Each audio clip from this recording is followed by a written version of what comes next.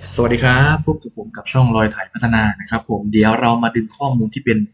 URL Service กันบ้างนะครับข้อมูลที่ผมจะใช้นะครับผมผมขอยกตัวอย่างเป็น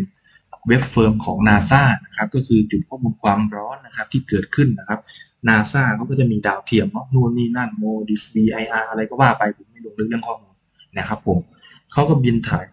เมื่อเขาเจอจุดความร้อนที่มากกว่ากี่เคลวินกี่เป็นเป็นองศานะครับผม กี่เคลวินกี่เคลวินเป็นหน่วยความร้อนประเภทหนึ่งเนาะ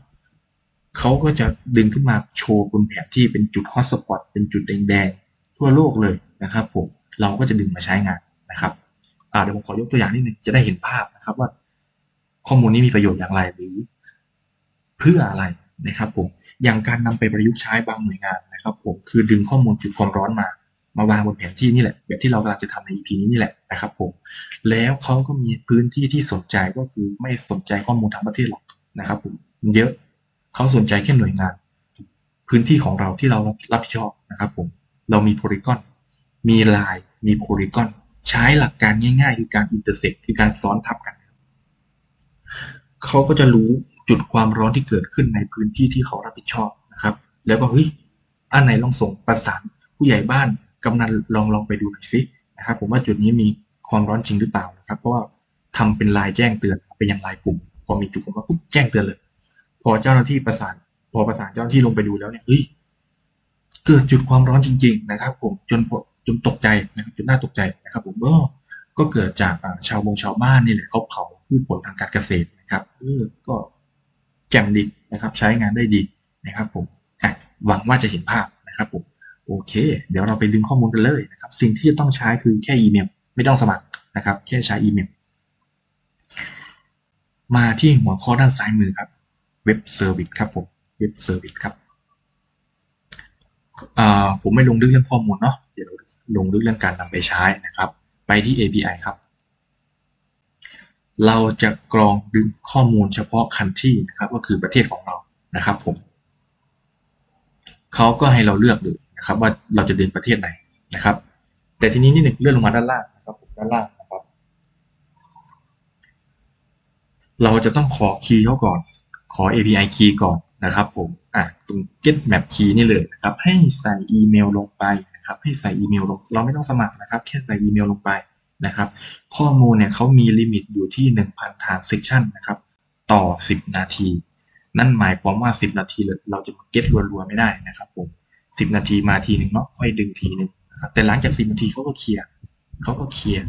นะครับผมแล้วก็ดึงได้อีกนะครับผมเพราะฉะนั้นเราต้องใช้แบบประหยัด แต่ไม่หมดนะครับไม่หมดนะครับหมายถึงภายใน10นาทีนะครับ ใส่อีเมลของทุกท่านลงไปนะครับผมใส่อีเมลนะครับ เมื่อกรอกอีเมลกด get map key นะครับเขาก็จะมี key ส่งมาที่อีเมลนะครับนี่ครับ map key ตัวนี้ทุกท่านอย่าใช้ของผมนะครับ ผมไม่ได้ปิดเนาะไม่ใช่ข้อมูลความลับอะไรนะครับ นี่เลยนะครับผม อ่า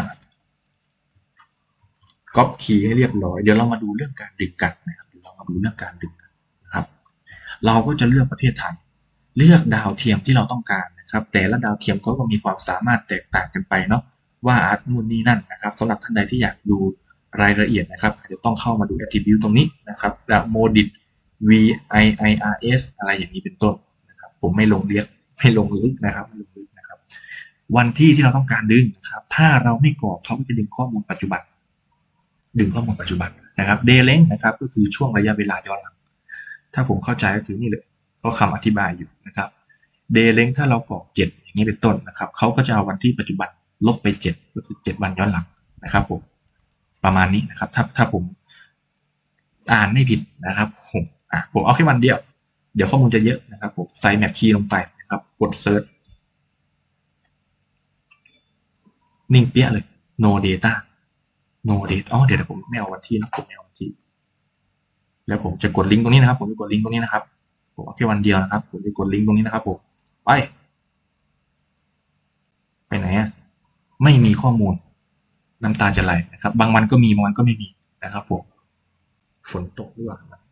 เอาสักสองวันสองวัน ผมเปลี่ยนที่ URL เลยนะครับ อ่า เดี๋ยวเปลี่ยนตรงนี้ก็ได้นะครับผม เขาจะขึ้นตรงนี้เห็นไหมครับ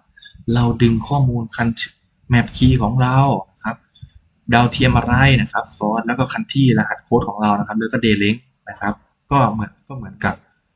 ตรงนี้นะครับ สามารถเปลี่ยนใน URL ได้เลยนะครับสองผมจะเพิ่มเป็นสองวันอืมมีข้อมูลมาแล้ว มีข้อมูลมาแล้วโอเค โอเคเลยนะครับผม เราดึงข้อมูลเป็นหนึ่งครั้งแล้วนี่คือดึงข้อมูลหนึ่งครั้งแล้วนะครับ เดี๋ยวเราลองมาที่เว็บ API ดูลองเลื่อนลงไปที่ด้านล่างครับ เราลองดูใส่ key ของเราครับ แล้วก็เช็ค status ครับผม ดึงไปแล้วครั้งหนึ่งครับ ไปแล้วสามสิบสองนะครับผม ผมแล้วผมจะ refresh อีกหนึ่งครั้งนะครับ ผม refresh หน้าเช็ค status นะครับหกสิบสี่แล้วนะครับผมอ่าใช้แบบจำกัด ปกติเนี่ย ที่ผมใช้ผมจะใช้หลังบ้านดึงนะครับ ดึงมาสโตไว้ก่อน ดึงทุกสิบนาที ก็ไม่มีการหมดนะครับ ผมไม่มีการหมดนะครับ โอเค เราได้ URL service มาแล้ว เป็นข้อมูลในประเทศไทยสองวันนะครับผมจากดาวเทียม VIIR S ซูอะไรเนี่ยซู NPP อะไรเนี่ยนะครับผมอ้าวอะไรก็ไม่รู้เหมือนกันนะครับผมผมกดคัดลอก URL มาเลยนะครับ ไปที่โค้ดของเราครับ ไปที่โค้ดของเราครับ ผมยังไม่ได้เปิดโค้ดเลยเนี่ย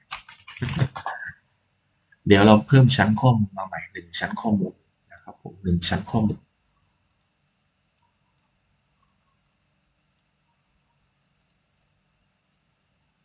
ผลลัพธ์ผมยังไงตรงนี้นะครับผมโอเค เดี๋ยวเรา new ไฟล์ขึ้นมาใหม่ เป็นอีกหนึ่งชั้นข้อมูลแล้วนะครับ ในโฟลเดอร์ layer นะครับ เริ่มไปช้าๆแล้วเนาะ new ไฟล์ขึ้นมาใหม่ ชื่อว่า firm ก็ได้ firm nasa .js นะครับผม ตรงนี้ก็เหมือนเดิมนะครับผม r a f c e นะครับ r a f c e นะครับผม new ไฟล์ขึ้นมาใหม่นะครับ เหมือนเดิมนะครับ เหมือนเดิมนะครับ เดี๋ยวนะ ส่งข้อมูลไปเก็บ ส่งข้อมูลไปเก็บแล้ว โอเค ผมดีไซน์แบบนี้ดีกว่า ผมจะไม่ return marker ให้เขาแล้วนะครับผม ผมจะ return ก็ยังไม่ return อะไรนะครับก็ยังไม่ return อะไร ยังไม่รีเทิร์นอะไรนะครับผมเดี๋ยวเราไปเรียกใช้ นี่ไฟล์นี้ก่อนนะครับ ที่ตัว map content ของเรานะครับผมเดี๋ยวผมจะเรียกใช้ไปด้านบน ผมจะเรียกใช้ไปด้านบนโอเคอ่า import เข้ามาครับผม import เข้ามาก่อน ที่ผมคิดคือผมจะพาดีไซน์ ผมจะพาทำไปสุดที่ไหนนะครับ ผมจะทำเผื่อไว้ก่อนนะครับ FIR firm NASA import firm NASA เข้ามาอ่าเดี๋ยวเราเรียกใช้ component นี้นะครับผมเรียกใช้ component นี้เดี๋ยวจะมีการแต่งไอคอนนิดหนึ่งนะครับผมโอเค เลื่อนลงมาครับผม เลื่อนลงมาครับ เมื่อกี้ import มาแล้วเนาะ เดี๋ยวเรามาเรียกใช้นะครับ ผมจะเรียกใช้ข้างบนนี้ก่อน เรียกใช้ข้างบนนี้ก่อนนะครับผม firm NASA มี error ไหมครับ ลองดูนะครับผม เดี๋ยวเรากด inspect ขึ้นมา inspect ขึ้นมา ดูโค้ด ดูคอนโซลของเขาเหมือนเดิมนะครับ โอเค เราจะกลับไปที่อ่าเดี๋ยวเดี๋ยวเดี๋ยวอยู่ที่หน้านี้แล้วนะครับ อยู่ที่หน้านี้แล้วเดี๋ยวเราสร้างสร้างตัวตัวแปรมารับก่อนนะครับ สร้าง state ารับค่าก่อน เราจะเราจะเก็บข้อมูลที่หน้านี้ ส่งไปให้หน้า FIRMS NASA เป็นคนดึง แต่ข้อมูลจะเก็บถูกเก็บที่นี่นะครับอะ const firms กับ set firms นะครับผมเหมือนที่เราเก็บ aircraft นะครับ เราก็สร้างตัวแปรที่นี่แล้วก็ส่งไปเก็บค่าอีกหน้าหนึ่งส่งไปให้อีกหน้าหนึ่งเก็บค่าแล้วก็ส่งกลับมา นะครับ use state null โอเค เราสร้างตัวแปรมาแล้วนะครับ เดี๋ยวเราจะส่ง set firms นะครับผมไปให้เขาไปให้เขาไปให้เขา set firms ส่งไปให้เขา ส่งไปเป็น property ที่ชื่อว่า set firm อ่าโอเค หน้านี้เดี๋ยวเราค่อยกลับมาตอนท้ายนะครับผมหน้านี้เดี๋ยวเรากลับมาตอนท้ายนะครับ เราขึ้นไปที่ด้านบน ไปที่เฟิร์ม เรารับค่าเขาก่อนเลย ก่อนเพื่อนเลยปึ๊บโอเค เราจะมีการดึงข้อมูลจาก URL นะครับผม เดี๋ยวเราใช้ use effect กันนิดหนึ่งนะครับ ใช้ use effect กัน use effect ก็คือทำฉันมาแวะก่อนแวะก่อนนะครับท่านี้เลยนะครับแวะก่อนนะครับอย่าเพิ่งไป ผมอย่าเพิ่งไปนะครับ เหมือนตำรวจตั้งด่านนะครับผม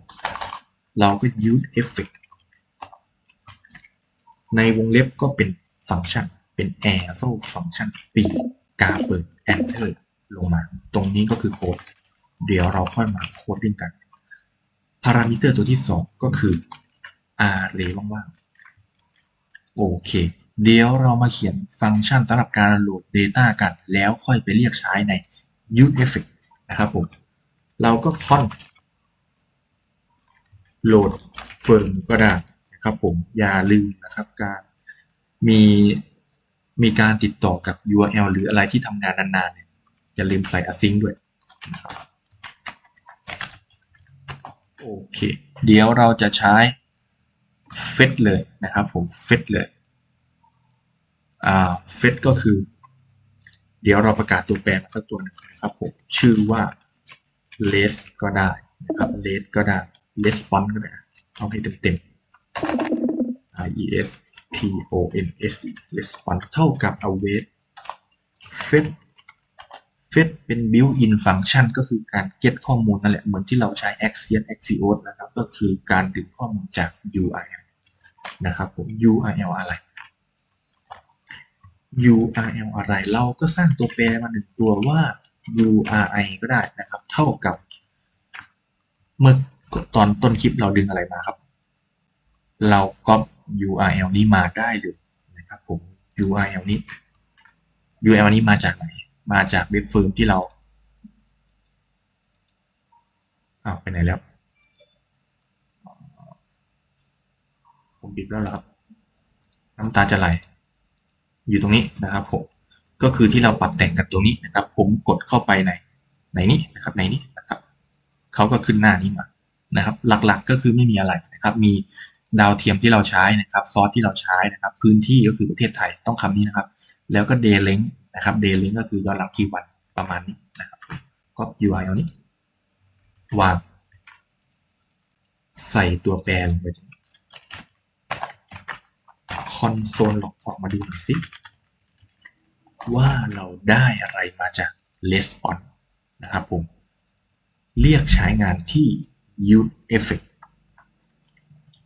โหลดเฟิร์มผมตื่นเต้นนะครับผม เอ้ย มาแล้ว body ได้อะไรมา ผมขอรีเฟซหนึ่งครั้งครับ ไปดึงมาไป ขอบ สเตตัสสองร้อยแป๊บหนึ่งนะครับ อืม ผมขอดูอันนี้หน่อย เท่ากับ less font จุด text restore ผมเทคออกมาดู ผมขออีกรอบหนึงนะครับ promise promise อีกอย่างวะ pending คือกำลังทำงาน เดี๋ยวผมเอาเวทรอเขาหน่อย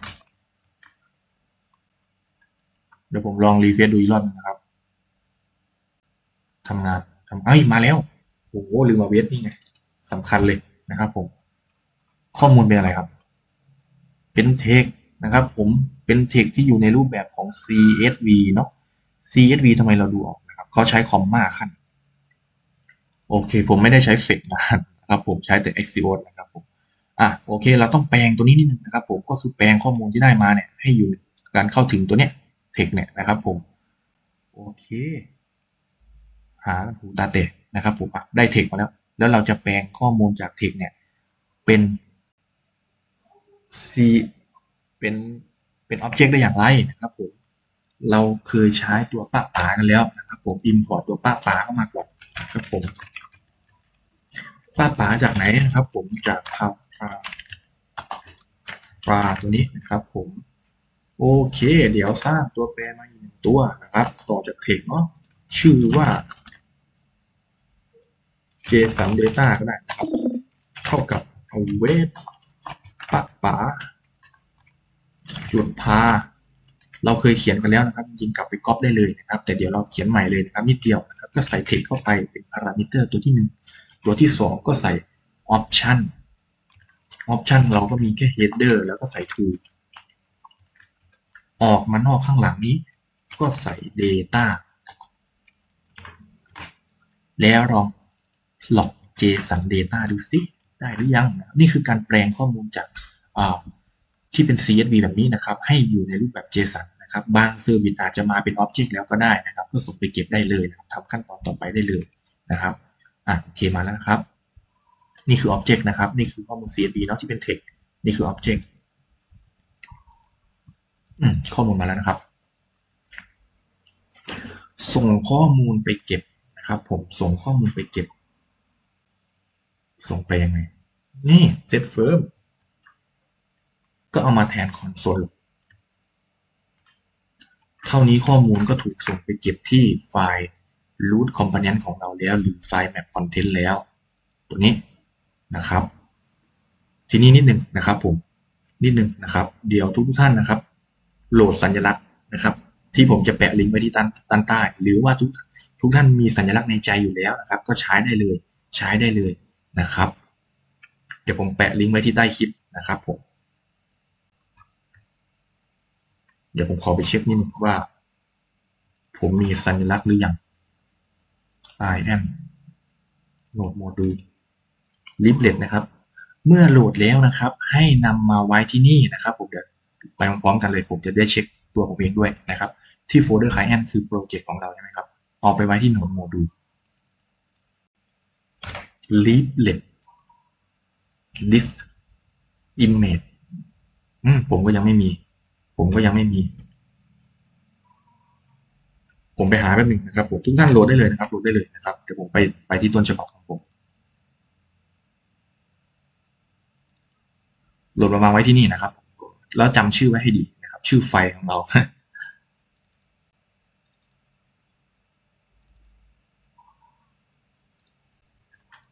เอาฟังเอานำไฟล์มาวางไว้ที่นี่นะครับผมชื่อว่าไฟล์ .png นะครับ ดูนามสกุลมาด้วยนะครับ ตอนเราไปเรียกไม่ .gif นะครับผม โอเค เราก็เรียกใช้ไฟล์นี้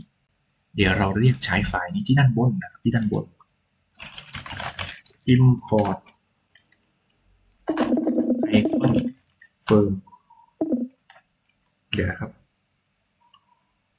icon firm firm icon firm marker อะโอเค